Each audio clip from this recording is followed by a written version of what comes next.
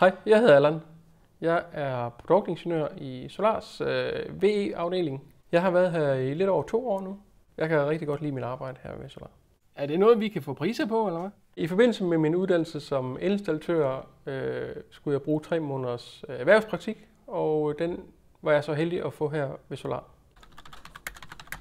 Jeg har en, øh, masse udfordringer dagligt. Jeg har en masse berøringsflader. Jeg har kontakt til marketing, jeg har kontakt til leverandører og til den tekniske stab. Så øh, jeg føler egentlig, at jeg er bindeledet mellem, øh, mellem mange afdelinger og, og må meget og får lov til meget. Jeg får selv lov til at styre min, min egen hverdag.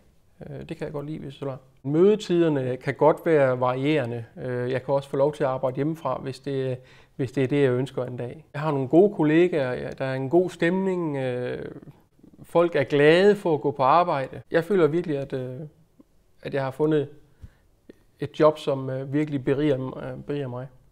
Jamen tak for det. Hej.